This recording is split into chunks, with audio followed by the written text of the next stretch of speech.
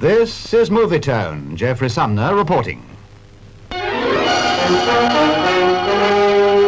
The proud parents with their baby son and heir, David Albert Charles Viscount Linley, one month old and fifth in line of succession to the throne.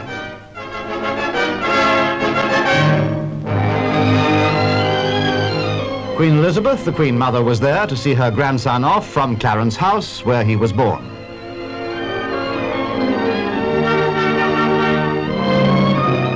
Princess Margaret and the Earl of Snowdon were now taking their son home to Kensington Palace. He calmly slept through this, his first public appearance.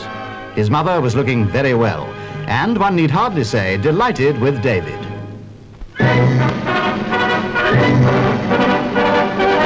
The new